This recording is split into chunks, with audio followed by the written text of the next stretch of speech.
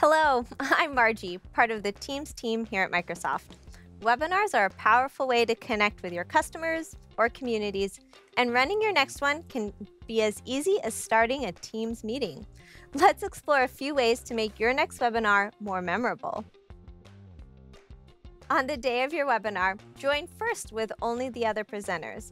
Attendees will be held in a virtual lobby until you admit them to the event.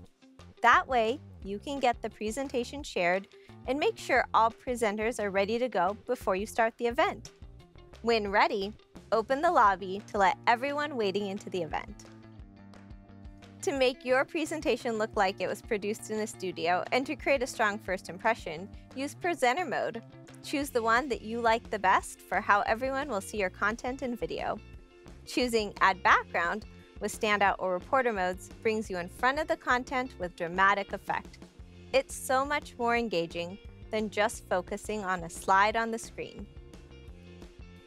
Whether before your event starts or during, use webinar options to change engagement settings. You can enable chat and reactions for attendees, or allow attendees to use their cameras or mics for even more engagement.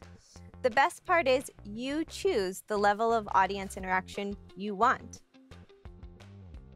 For even more engagement, just like in a Teams meeting, use dynamic meeting features like virtual breakout rooms, or share real-time polls to keep your attendees' attention. After you've rocked your event, download an attendance report to see who joined your event, and don't forget to follow up to thank your attendees for coming to your virtual event. Your audience will be impressed with your professional webinar. And your next webinar and every webinar after that is going to be easier to host and more memorable than the one before.